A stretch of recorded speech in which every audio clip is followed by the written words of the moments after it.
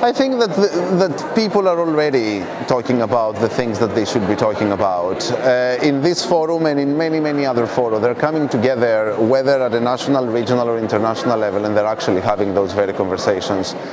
Uh, I, I, do not think that reopening the Universal Declaration of Human Rights to include digital is going to help anyone. It's actually going to even question some of those principles that we have already fought for and they, are, they have been subscribed into uh, this declaration and into our cultures and into the, our ways of thinking.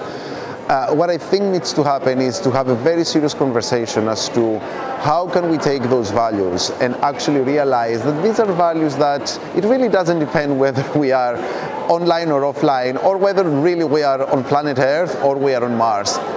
If we are people, we want people to be able and have the right to express themselves uh, freely, have the right to live life the way they're supposed to be living, and actually take all these human rights and fulfill them in a way that they're meant always to be fulfilled.